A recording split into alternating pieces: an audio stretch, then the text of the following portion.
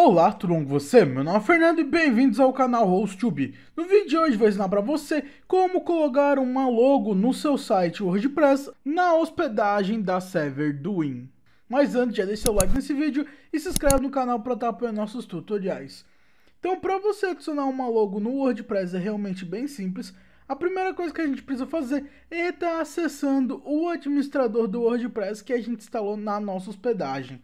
Então, já dentro do painel do WordPress, nós vamos vir no lado esquerdo, no menu lateral, e vamos vir na opção escrito Aparência. Então, basta clicar. E em seguida vai estar mostrando a página de temas que você tem configurado no seu site.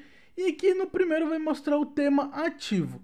E vai ter um botãozinho escrito personalizar. Então nós vamos clicar em personalizar. Na área de personalização vai ter várias opções e ele muda conforme o seu tema. Então cada tema tem várias opções diferentes para você configurar.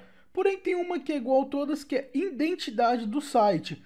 Então aqui está mostrando como primeiro, então vamos nessa opção de identidade do site. E na página seguinte tem várias coisas que a gente pode configurar. Porém, o que a gente vai configurar aqui é o logo. Então ele vai pedir para a gente selecionar uma logo. Aqui não tem nenhuma logo, porém se tiver ele vai ter o botãozinho escrito mudar logo. Então aqui vamos selecionar uma logo. Ele recomenda que a logo seja 470 por 110 pixels, porém você pode colocar maior, menor sem problema, porém esse é o recomendado.